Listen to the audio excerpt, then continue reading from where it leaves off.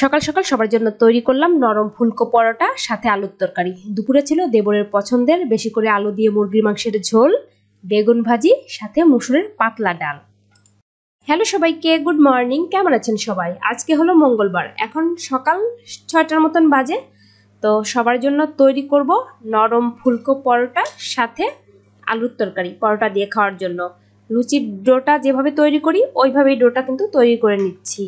স্বাদ অনুযায়ী লবণ, সামান্য একটু চিনি, তারপর পরিমাণ মতো তেল দিয়ে ময়ামটা দিয়ে নিয়েছি নর্মাল জল দিয়ে ডোটা তৈরি করে নিচ্ছি। আর এইভাবে কিন্তু ডোটা তৈরি করলে একদম নরম আর ফুলকো পরোটা হয়।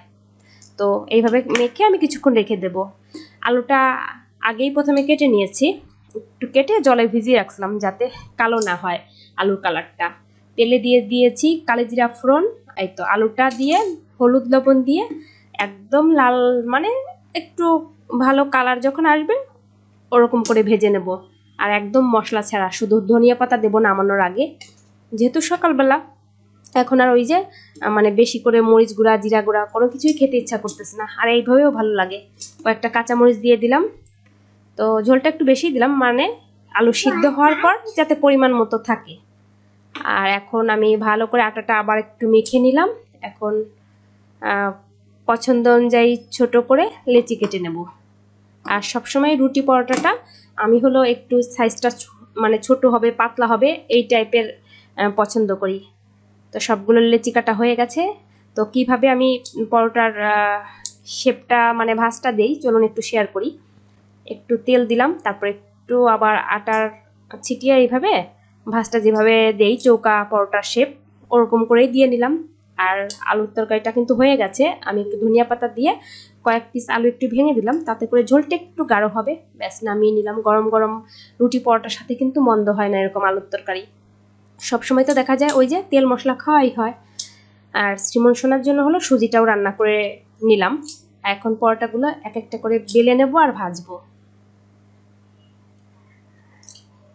আর পরোটা ভাজার ক্ষেত্রে কিন্তু দুইটা সাইড মানে খুব ভালো করে ভাজার পর তারপর কিন্তু তেলটা দিতে হবে মানে সেকে নেওয়ার পর। একদম সুন্দর একটা কালার যখন চলে আসবে দুইটা সাইডে তো এইভাবে ভেজে তুলে নিচ্ছি। রুটি পরোটা যাই হোক মানে ফুলকো না হলে না ফুললে ভালো লাগে না। পরোটাটা দেখতেও যতটা সুন্দর হয়েছে, খেতেও ততটা নরম বা অনেক মজা হয়েছে। যারা এইভাবে তৈরি করেন না, অনেকে হয়তো করেন, একবার একদিন বাসায় ট্রাই করতে পারেন। আশা করি ভালো লাগবে। এই পরোটাটা মানে একদম লাস্টের পরোটাটা একটু পুড়েই গিয়েছিল। শ্রীমনের পাপার, ওর কাকার খাওয়া হয়ে গেছে। এখন আমি খাচ্ছি। চলুন, আপনাদের সাথে একটা গিফট আনবক্সিং করি। আর এই গিফটটা এসেছে আমার শ্রীমন শোনার জন্য। জিরুপস শপ এই অনলাইন পেজ থেকে এটা মূলত হলো একটা টেন্ট হাউস যে কোনো বাচ্চাই কিন্তু টেন্ট হাউসটা খুব বেশি পছন্দ করে, তাই না? আর এই টেন্ট হাউসটা হলো পঞ্চাশ পিস বলের একটা টেন্ট হাউস আপুর পেজে কিন্তু একশো পিস বলেরও টেন্ট হাউস আছে। আর পঞ্চাশ পিস বলের টেন্ট হাউসের প্রাইসটা হচ্ছে আটশো পঞ্চাশ টাকা। অনেক আপুরা দিদি ভাইরাই জানতে চাইবেন, তার জন্যই মূলত আমি বলে দিলাম। আপনারাও কিন্তু আপনাদের সোনামণির জন্য এরকম সুন্দর একটা খেলনা নিতে পারেন। আমারও অনেকদিন থেকে ইচ্ছা ছিল শ্রীমন সোনার জন্য একটা টেন্ট হাউস নেব। আপুকে অনেক ধন্যবাদ এত সুন্দর একটা গিফট শ্রীমন সোনাকে করার জন্য। আর বলগুলো যেহেতু কালারফুল বাচ্চারা খেলতে এমনিতেই পছন্দ করবে। শ্রীমন্ত কখন খেলা করবে, ভিতরে যাবে সেই চিন্তায় আছে।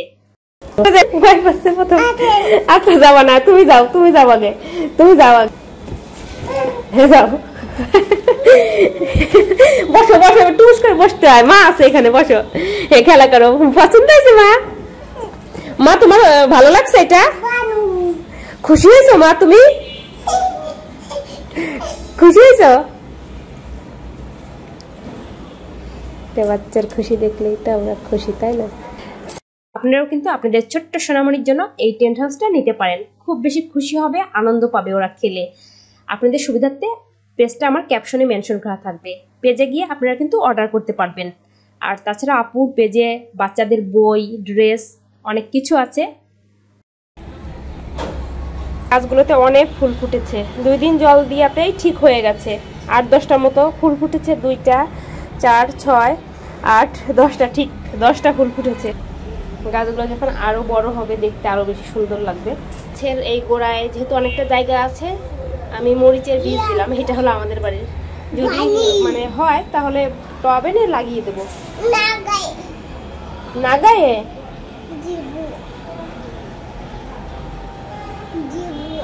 দিব এখন হলো দুপুরে রান্না বান্না করব। তো তার আগে সবজি টবজি কেটে গুছিয়ে নেই। শ্রীমনের কাকা আর হয়তো এক দুদিন আমাদের বাসায় থাকবে, বাড়িতে চলে যাবে। আজকে ওর পছন্দেরই রান্না করব। পছন্দের বলতে মাংস খেতে খুব পছন্দ করে, বেশি করে আলু দিয়ে তাও আবার। ঠিক ওইভাবেই করব। আর সাথে মুসুর একটা পাতলা ডাল করা হবে, বেগুন ভাজি করা হবে। আর এই তো সব কিছু কেটে গুছিয়ে শ্রীমনকে হলো স্নান করাতে হবে। ওকে স্নান করানো হয়নি। তো সব তো রেডি করা হয়ে গেছে। মাংস মানে পরিষ্কার করে ধুয়েও নিয়েছি। মাংসের পরিমাণটা একটু কমই আজকে। তো যাই হোক, সমস্যা নেই, যেহেতু নিজেরাই আমরা। তো মুসুরের পাতলা ডাল বসিয়ে দিয়েছি। আর ডালটা আমি সবসময় যে ডালই করি, একটু পাতলাই করি আসলে। শ্রীমন সোনাকে স্নান করাবো, গরম জল বসিয়ে দিয়েছি। ওকে সবসময় এখন গরম জলেই স্নান করাই। মানে বাড়ি থেকে আসার পর, যেহেতু হালকা হালকা শীত চলে এসেছে, বেগুনটা প্রথমে ভাজি করে নিচ্ছি। তো বেগুন ভেজে মানে এই তেলেই হলো ডালটা সোমবার দেব। আহ, ডালটাও হলো পেঁয়াজ রসুন দিয়েই করব। গোটা জিরা তেজপাতা শুকনা মরিচ আর হলো রসুন কুচি পেঁয়াজ কুচি দিয়েছি। ভালো করে ভেজেই তো ডালটা দিয়ে দিলাম। দুপুরে রান্নাবান্না হলেই হয়। তো নামানোর একটু ধনিয়া পাতা দিয়ে ব্যাস নামিয়ে নিলাম। সারা বছরই আমার ধনিয়া পাতা খেতে খুব পছন্দ হয় বা পছন্দ করি। আর মাংসটা প্রতিদিন যেভাবে করি ওইভাবেই করে নিচ্ছি। তো পেঁয়াজটা ভালো করে ভেজে আদা রসুনের পেস্ট শুকনো মশলাপাতি দিয়ে ভালো করে মশলাটা আমি কষিয়ে নিয়েছি। এখন হলো আজকে কিন্তু আলুটা আলাদা করে ভেজে দেইনি। ভাজতে ইচ্ছা করল না। ভাবলাম এইভাবে একবারেই দেই। না, ওই যে যখন যেমন হয় মানে মনে হয় ওইভাবেই করি ভেজেও দেই না ভেজেও দেই। তো ভালো করে সব কিছু এখন সুন্দর করে কষিয়ে রান্নাটা করে নেব। নামার আগে একটু গরম মশলা পেস্ট দেবো তাহলে এই ব্যাস রেডি। মাংস রান্না কমপ্লিট। সালাদের জন্য হলো শসা, পেঁয়াজ, তারপর টমেটো, মরিচ কুচি, লবণ দিয়ে একটু মেখে নিলাম। শ্রীমনের পাপা এইভাবে যখন মানে এই ঝুড়ি সালাদটা করি, খুব খেতে পছন্দ করে, কিন্তু আমি তো সবসময় করি না। অনেক সময় অলসতা লাগে বেশিরভাগ টাইমেই তো রান্নাবান্না কমপ্লিট সবার মানে সবাইকে এখনই খাবার দাবার দেবো। দেরি হয়ে গেছে, আড়াইটার মতন বাজে। আর পরে আমি খাবার খেয়ে নিচ্ছি। তো আজকের ভিডিওটা এই পর্যন্তই। সবাই ভালো থাকবেন, সুস্থ থাকবেন। আজকের মতো টাটা বাই বাই